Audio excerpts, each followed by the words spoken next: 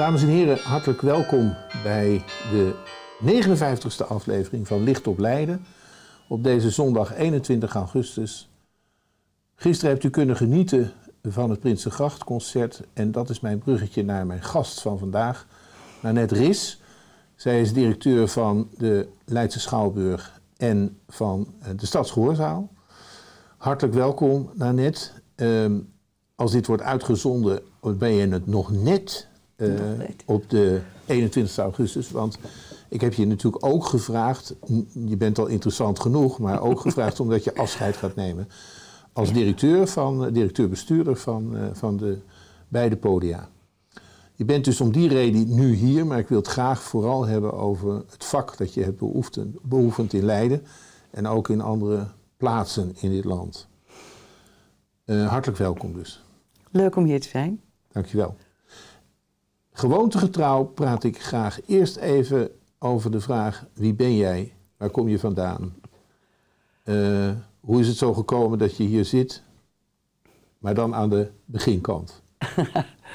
um, ik ben geboren in Den Haag ja. in 1955, eigenlijk in Scheveningen, uh, in de Emma-kliniek. Het is een foto van mijzelf, toen was ik twee, geloof ik.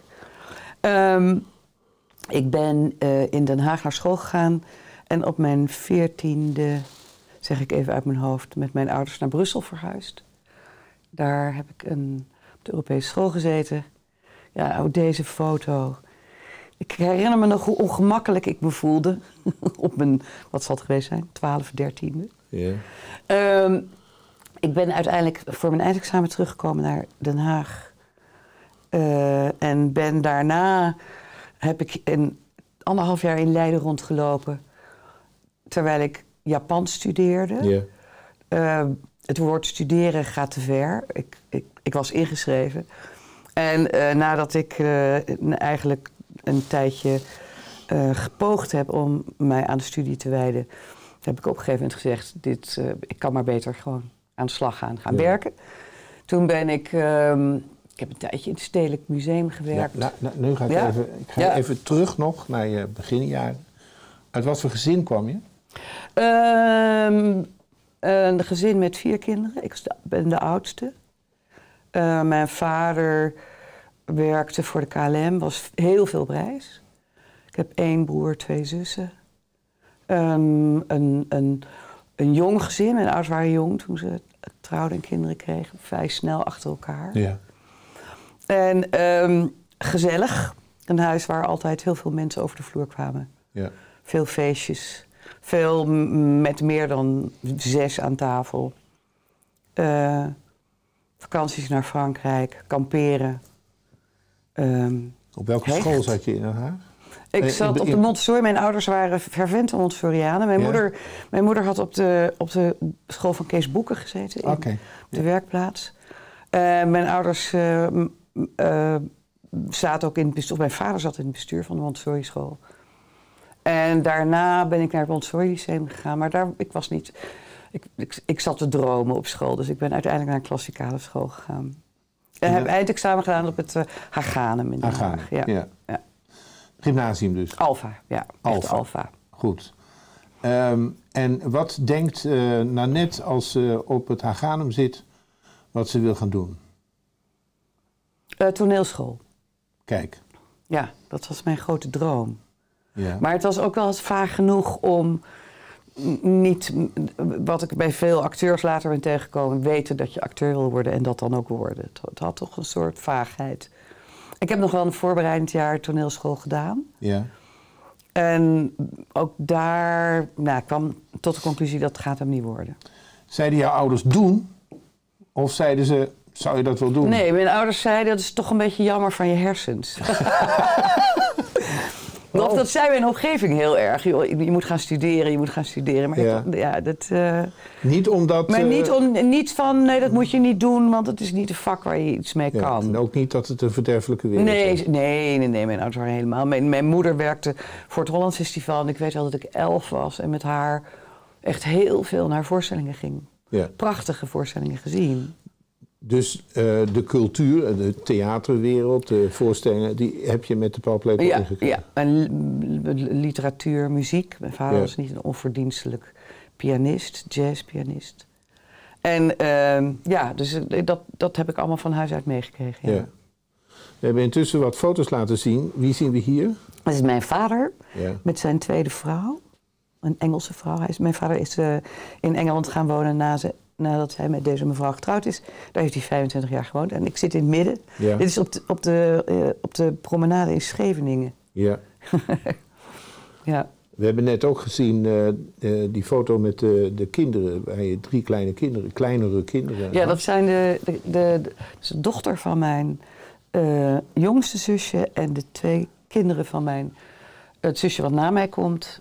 Uh, die woont al langer dan Hier, ja. 30 jaar in Amerika. Ja. En die kinderen op mijn schoot zijn haar dochter en zoon. En dat is, de onderste is Marie, die, dat is de dochter van mijn jongste zusje. Ja. En um, ik heb zelf geen kinderen, maar ik heb altijd wel dankbaar gebruik gemaakt van de leenkinderen van mijn familie ja. en mijn vrienden overigens ook. Ja. ja. Je bent getrouwd? Nee. Niet? Nee. nee. Oké. Okay. Um, hier is je moeder? Ja, dit ben ik met mijn moeder. Dit is een recente foto nog? Nee, nee, nee. Dit is ook, oh, dit is ook echt al 30 jaar geleden, denk ik. 20 jaar geleden. Je hebt nog steeds uh, heel goed contact met je moeder? Ja, maar ik, ik, ik ben in de coronatijd bij mijn moeder ingetrokken definitief. Omdat ze is invalide al jarenlang. Ja. En ik ben haar mantelzorger en ik heb een hele goede, hele goede relatie met haar. Altijd gehad. Ja. Dat is ook waarom ik toen zei, ze brak een ja, aantal jaar geleden haar heup. Ja. En toen kwam ze in allerlei huizen terecht. En die waren van zodanige kwaliteit dat ik zei, dat hoeft niet. Is het zwaar? Um, het woord zwaar, uh, het vraagt wel wat van je. Ja. Ja, ja. En zeker in combinatie met een baan. Uh, ja. Ja. En in coronatijd was het helemaal geen feest. Want dat doe je eigenlijk al lang? Ik, eigenlijk zorg ik al zeven jaar voor haar. Maar ik, het afgelopen jaar, dus na corona, ben ik echt bij haar in huis getrokken. Ja. Want ja. daarvoor woonde je daar niet. Nu ben je dus echt uh, ja. Ja. in één huishouding gegaan. Ja. ja. Je hebt nog een foto van uh, uh, hierna komt. Dit, hier? Dit, dit, ben ik met mijn, met mijn zusjes en mijn broer. Ja. ja. Waarom denk ik dat ik die rechtse mevrouw ken? Ik zie jou links, toch? Ja, ja, ja. Dat, ja, dat is mijn jongste zus. Ik heb geen idee waarom Ja. jij haar zou kennen. Ja. Ik had, toen ik de foto zag, dacht ik, ik ken haar. Merkwaardig is dat, hè? Dat je dat hebt. Ja, ik heb geen idee. dat kan, dat kan Ja. zo, ja. Ehm, het is ook niet zo belangrijk dat ik haar ken, want ik ken jou. Dat vind ik al heel belangrijk. Nanette, ehm, eh, die naam Nanette, zit dat in de familie? Nee hoor, het, is een, mijn, mijn, het, de, de, het verhaal is dat mijn moeder wilde mij Sarah noemen. Ja? Maar dat mocht niet van mijn vader, want je had in tijd... En het, eh, het liedje Sarah Leander, niet om het een of het ander... maar die ene Bill en die andere Bill, die lijken op elkander. en, mijn, dat, de- en dus mijn vader zei, nee, we gaan mijn dochter niet Zara of Sarah noemen. En toen hebben ze mij Nanette genoemd. Mijn moeder heet Colette.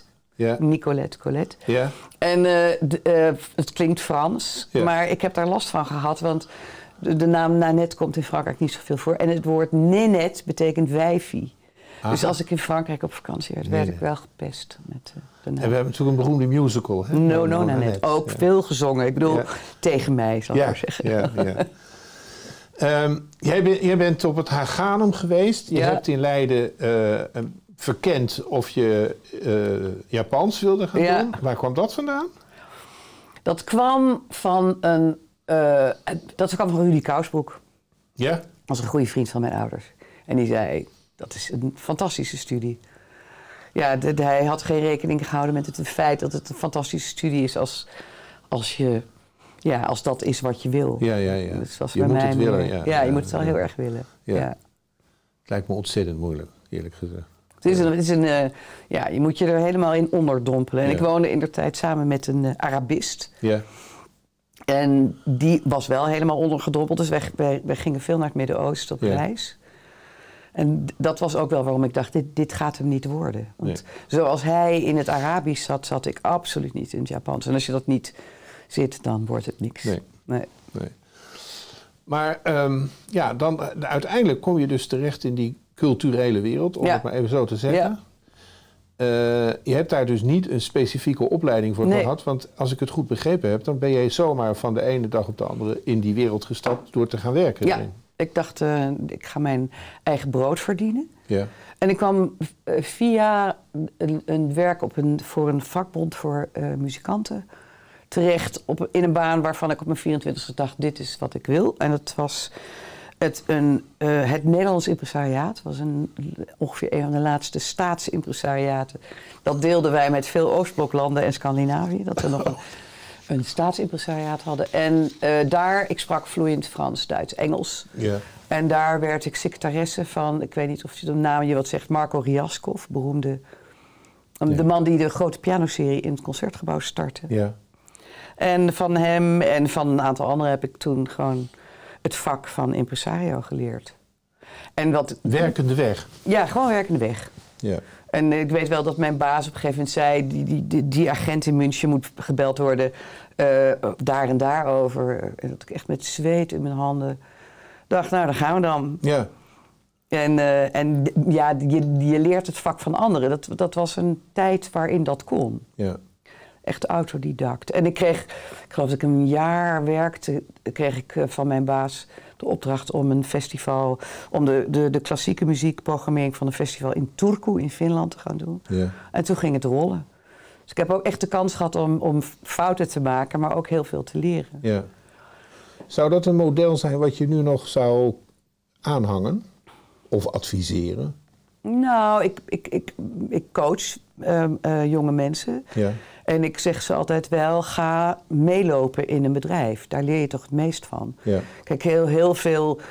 Uh, maar dat is lastig. Hè? Als je zelf autodidact bent, is het moeilijk om je te verplaatsen in wat je dan gewoon op papier zou kunnen leren. Ja. Dus ik, ik denk heel erg, je moet het in de praktijk leren.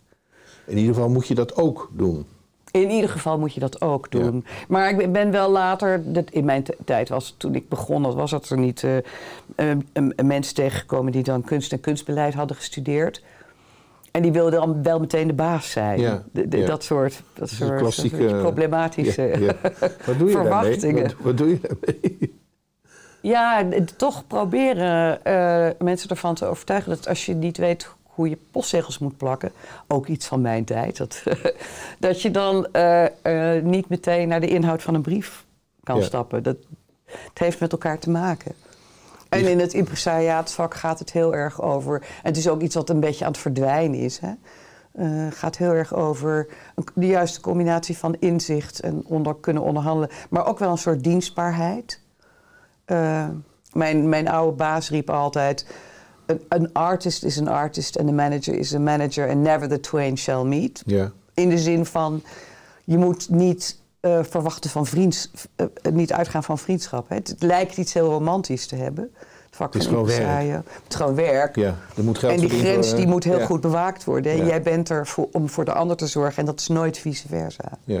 En ik herinner me wel dat ik dacht mensen die zulke mooie dingen maken, muziek in mijn geval, dat moeten ook verschrikkelijk aardige mensen zijn. Nou, dat leer je ook wel snel ja. Betekent het ook dat je geen enkele vriendschap hebt kunnen opbouwen, omdat je altijd in die zakelijke rol zit? Je bedoelt in die, wereld, in, die wereld, in die, ja. weinig. Weinig, weinig, ja. weinig ja. Dat, dat, dat, dat, je, je, sterker nog, ik denk dat het. Uh, wij hadden op het impresariaat, groot impresariaat, hadden we uh, altijd de, de, de, grap. Wie zou je uitnodigen van al die honderden muzikanten waar je voor werkt op je verjaardag? Ja. En dan waren we het met toch een man of tien eigenlijk maar over één iemand eens. Gerard van Blair, ik zal hem nooit vergeten, pianist. En de rest hadden we allemaal zoiets van, ja nou... Hoeft niet. Aardig, ja, maar die, die, die, die, die, die gepaste afstand is belangrijk. Ja. Want je hebt een dienstbare relatie. Maar dan neem ik aan dat vanuit de kant van de artiesten en van de muzici en, en noem ze op, dat daar ook niet een aandrang bestaat om die relatie te veranderen. Zij houden ook die afstand wel. Nee, kijk, je, je, je gaat wel heel erg vriendschappelijk met elkaar om. En je gaat met elkaar op tournee en je beleeft veel met elkaar. En als je lang voor iemand werkt, dan krijg je wel een heel erg vertrouwensband. Maar dat wat in vriendschap zo cruciaal is, namelijk dat je wederzijds heel, heel dicht in elkaars leven kan treden. Dat, nee. dat gaat niet. Nee, nee, nee. dat, dat model van werken, hè, van uh, werkende, werkend leren en uh, lerend werken, ja. Ehm, dat draag je ook over. Hè? Dat wil je ook wel uitdragen. Ja. ja. ja. En ook, ook in de organisaties. Ook in de organisatie. Ja, Ik, ben, ik ben wel heel erg van. Ehm, met name het dynamische. Dat heb ik ook wel in de, in de Leidschapper Stad Goorzaal ingebracht. dit, wat ik altijd heel paradoxaal vond, is dat wij handelen in vergankelijkheid. Hè? We, doen iets, we begeleiden geen schrijvers in het schrijven van een boek of een schilder in het schilderen van, een, van iets wat, wat je aan de muur kan hangen. Het is er en het is weer weg. Ja. Ja. En de paradox vond ik altijd dat de mensen in de sector eindeloos lang op één stoel bleven zitten. Ik ben altijd iedere zeven jaar minimaal kreeg ik jeuk en dan dacht ik, ik moet iets anders gaan doen. Maar ik vond het, ik heb toch, ben toch wel heel veel mensen tegengekomen die na 20, 25 jaar nog steeds op dezelfde stoel zaten. En dat vind je niet goed? Nee, heel ongezond. Nee. Heel ongezond. Dat vind je ook niet goed voor het, voor het werk zelf, voor, de, voor, voor het welzijn van het, van het bedrijf? Ja, dat op de allereerste plaats. En het is natuurlijk, ik denk dat het. Kijk, er zijn mensen die kunnen heel lang in een organisatie ook doorgroeien en iedere keer iets anders gaan doen. Ik, ik veroordeel het niet. Maar jonge mensen waar ik dan gesprekken mee voer, die probeer ik heel erg uh, die dynamiek bij te brengen. En eigenlijk zeg ik ook altijd: er zijn drie vragen die je stelt. Als iemand bij je komt werken, zeg je: wat kom je brengen, wat kom je halen en wanneer ga je weer weg? Ja. Om, en dat, ik weet wel dat ik toen ik dat voor het eerste keer zei, dat mensen zoiets vonden, het, vonden ze heel intimiderend. Maar het gaat juist over je eigen ontwikkeling. Het is niet de vraag bij sollicitatie. Nee, maar het, is wel, het gaat wel over... Um, heb je over jezelf nagedacht? Ja. Ja. En, en waarom, waarom doe je wat je doet? Dan heb ik toch de vraag of die gedachte en die. Uh, kijk, toen jij begon met werken en je, je stapte die wereld in, had je dat voor jezelf nog niet geformuleerd. Is dat dus een verworven uh, ja. inzicht? Ja, zeker. Ja. Ja. Want als ik naar je kijk naar wat je gedaan hebt, ik heb, ik heb die lijst nog eens even bekeken, dat we zeggen de, de, de grove lijst, dan zou bijna in, in, in Groningen in Utrecht, het Nederlands Impresariaat, Kamervraag.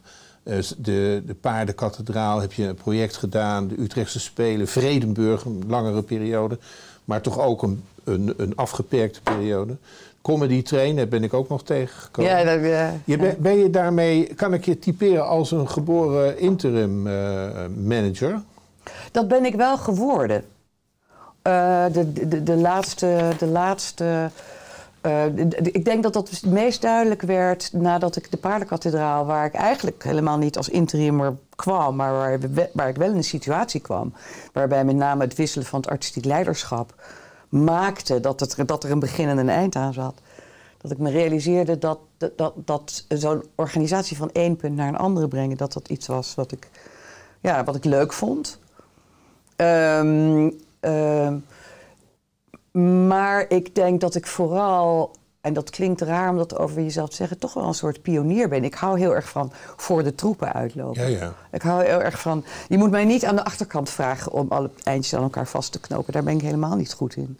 Maar aan de voorkant zeggen: Nou jongens, volgens mij moeten we eens een keertje die kant op. Ideeën ontwikkelen. Ideeën ontwikkelen. Ja, proberen. Proberen de mensen mee te krijgen. Uh, nog één, één aspect, uh, misschien kun je daar nog iets over zeggen. Als je zo van, van plek naar plek gaat, ook fysiek zeg maar, van plek naar plek, eh, heb je dan niet, eh, heb, je niet idee van hechting en dat soort dingen? Hoe, denk, hoe kijk je daarnaar? Heb je, je, ik heb de indruk dat je echt gehecht bent in Leiden en, en aan de mensen in Leiden en het werk in Leiden. De stad wellicht, dat moet je straks nog maar even zeggen. Maar uh, het idee dat je steeds verplaatst, jezelf ook verplaatst, heb je daar, daar heb je dus kennelijk helemaal geen moeite nee, mee. Nee, sterker nog, ik, ik, daar hou ik heel erg van. Kijk. Dat, dat, dat, uh, ik had, ik, vroeger met mijn zusje hadden wij een. een uh, wij deelden een kamer. Dan vertelden wij altijd het verhaal, elkaar het verhaal van over een jongetje. die in een soort caravan door de wereld trok. met een Pipo-auto. En dat, dat, dat was. Ja, ik, dat, dat je niet op één plek blijven. Ja. Dat. Uh, ja, dat, dat, dat, ja. dat vind je mooi. Ja, vind ik mooi. ja. ja. Um, nog heel kort, wat, was je, uh, wat is als je inclusief Leiden? Ik ga straks nog even heel precies over Leiden praten, maar uh, als je je hele carrière overziet, wat, wat is jouw topputje geweest? Waar, waar, waar ik. Uh, um, wat ik het prachtigst vond van wat ik gedaan heb, was eigenlijk de paardenkathedraal met Dirk Tange. Ja. Dat was helaas eindig. Dat had te maken met, nou ja, met het artistieke ontwikkeling. Maar uh, een huis waar iets gemaakt wordt. Uh, en dat is zo'n cyclus van zeven weken. De eerste, van het eerste lezen van een stuk aan tafel tot uh, alle ziektes die iedereen kreeg in de week voor de première en dan de première en dan de tour. Die dynamiek van het gezamenlijk scheppen. Dat is het mooiste. Dat, ja, dat was. Dat, en in een huis met een keuken waar iedereen met elkaar at ook. Ja, dat, uh, mooie herinnering. Ja, mooie herinnering. Ja. Hier sta je op de statiefoto toen je in Leiden kwam. ja. En uh, hierachter hebben we die foto van uh, de plek waar je ging werken, de Stadsgehoorzaal. Ja. Prachtig mooie ja. zaal. Ja. Het, het, is ook een hele mooie foto, moet ik eerlijk zeggen. Het prachtig, die, die kleur die ooit gekozen is. Het was wel heel bijzonder. Um, vertel eens, hoe, hoe ben je hier terechtgekomen? Ik ben hier terechtgekomen um, via Erna Kortlang, ja. de, de, de, nog steeds voorzitter van de Raad van Toezicht. Het was toen trouwens een, eh, een BV, dus het was een Raad van Commissarissen. En zij zochten iemand eigenlijk die ad interim um, interne, in, in de interne organisatie ja. keek en daar advies over uitbracht. Dat was 2015 ja. en in 2016 werd besloten dat je mocht blijven, kon blijven. Er zitten twee kanten aan de kant van het besluit van, zal maar zeggen, de, de organisatie zegt ja, jij moet maar blijven en jouw eigen kant. Ja. Wat waren de overwegingen? Uh, de overwegingen van, van de organisatie waren dat ik, dat, ik het, dat ik erg goed viel bij de mensen. Ja.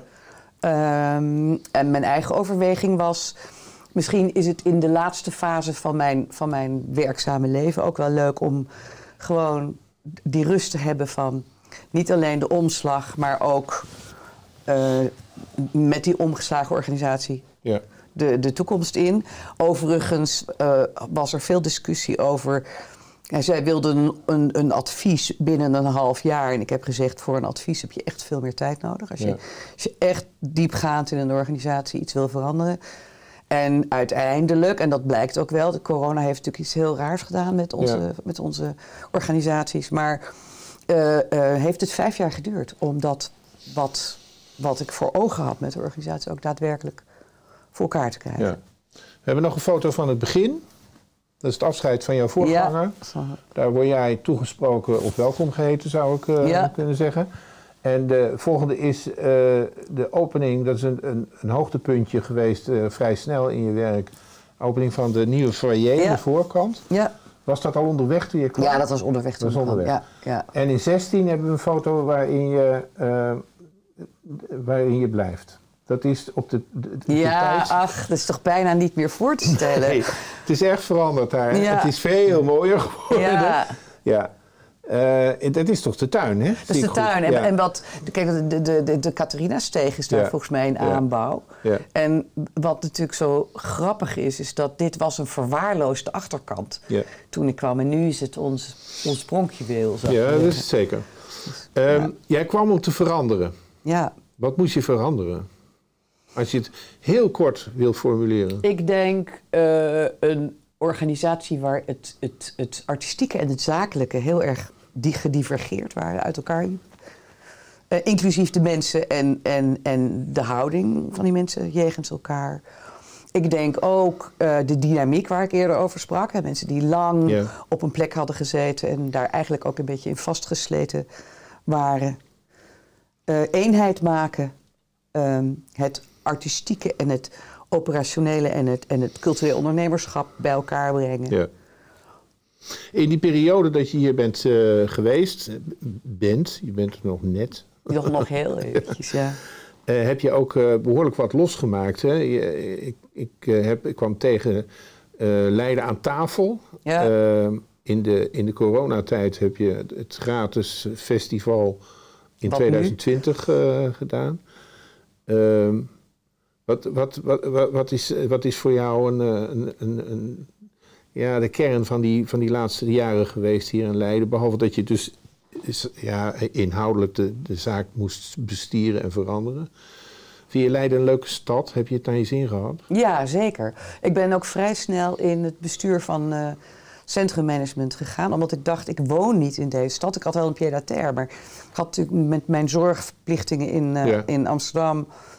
Uh, niet de mogelijkheid om hier echt te gaan wonen. Dus toen dacht ik, je moet die stad ook breder leren kennen. Als je niet iedere zaterdag naar de markt kan. Dan, Dus toen ben ik in het bestuur van centrummanagement gaan zitten. En dat heeft me heel veel gebracht. Heel, een veel bredere blik op de stad en de vragen die er spelen buiten de cultuur om. En um, ja, ik heb natuurlijk. Ik, ik ben met, uh, met, met uh, toen Mirjam Flik van het Cultuurfonds veel gespaard. Ook als, als allebei Amsterdammers in Leiden.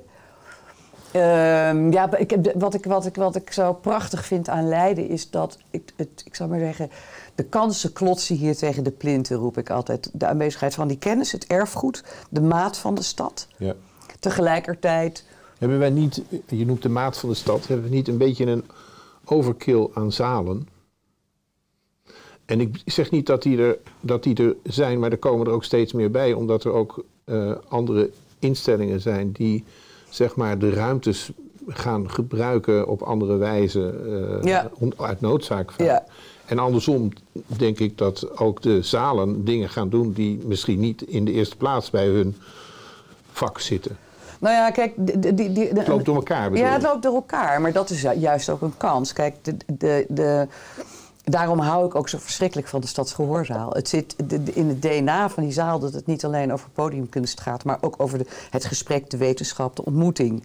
Ja. En het, het, was eigenlijk een paar jaar geleden dat ik in de analyse van mijn bezoekcijfers uh, zag dat eigenlijk de, de, het, het, aantal bezoekers wat ik trok met wetenschappelijke congressen in de buurt kwam van mijn publiek voor voorstellingen. En toen heb ik ook heel expliciet in de plannen benoemd dat die dat die, de, de, delen van kennis een immateriële waarde is in het beleid van, van de organisatie. De, uh, het, het, het zeggen dat er te veel uh, stoelen zijn in de stad, vind ik, doet onrecht aan wat de kansen zijn die die diversiteit Omdat je die stoelen allemaal kunt gebruiken. Op ja, ja. ja, en het is wel zo dat ik weet dat Bart, uh, Bart, van Mossel had altijd de droom om een vlakke vloer te bouwen. En dan zei ik altijd wel, ja, maar Kees van Leeuwen heeft een vlakke vloer. En Natuurlijk kan je zeggen, er mogen best wel honderd plaatsen bij. Maar laten wij dat dan niet doen. Laat dat dan daar ontstaan. Waarom zit Kees van Leeuwen zo apart in het uh, pakket? Uh, ik denk door om een aantal redenen. Kees heeft eigenlijk zijn eigen organisatie gemaakt. Ja. Hij heeft bij wijze van spreken zijn eigen huis gebouwd. Ja. En hij, ik, ik vind hem heel belangrijk in de stad. Zijn, zijn podium laat zien wat de humuslaag is, maar ook wat, wat het kleine is en het, en het bijzondere. Um, wij hebben, wij hebben in, in, de afgelopen jaren in toenemende mate zijn we gaan samenwerken. En, maar Kees' droom is natuurlijk ook nog om een productiehuis voor makers te maken. Ja. Dat is best lastig in een stad waar geen kunstvakopleiding is. Maar...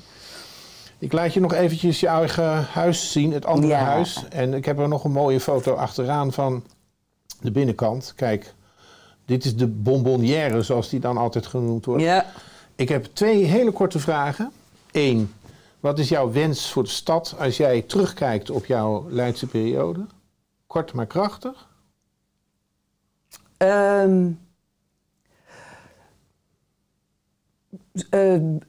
naast, de, naast de, de, de, trots op het, op het materieel erfgoed, hè, want de Leienaar is echt wel trots op zijn gebouwen, iets meer aandacht en trots voor het immateriële van, van de cultuur en ook de wetenschap in de stad. Oké. Twee, korte vraag. Wat ga je in je pensioentijd nog uh, doen? Wat zijn je plannen? Eerst even rusten, voor je moeder zorgen en actief blijven? Zeker. Ja? Zeker, maar meer in de, in, de, in, de, in de rol op de achtergrond. Je had het even over Comedy Train en Toomler, daar ben ik bestuurder. Ja. En daar doe ik nu, nu wat, wat hand- en spandiensten. Ik hoop wel in, in, in besturen te blijven. Maar ik wil ook de handen vrij hebben om te reizen. Dus ik, uh, ik wens je daar heel veel plezier bij. Ik wens je een goede pensioenperiode. En uh, ik wens je ook alle goeds met je moeder natuurlijk. Dank, Dank je wel voor je komst, Nanette. Uh, het is tijd. We stoppen ermee. Dank je wel. En ik, ik, denk dat ik namens jou ook je opvolger Irene Pronk veel succes wens. Ik ben heel blij dat ze komt. Oké. Volgende week zit hier Ton Kolbeck met weer een interessante gast voor u bij Licht op Leiden.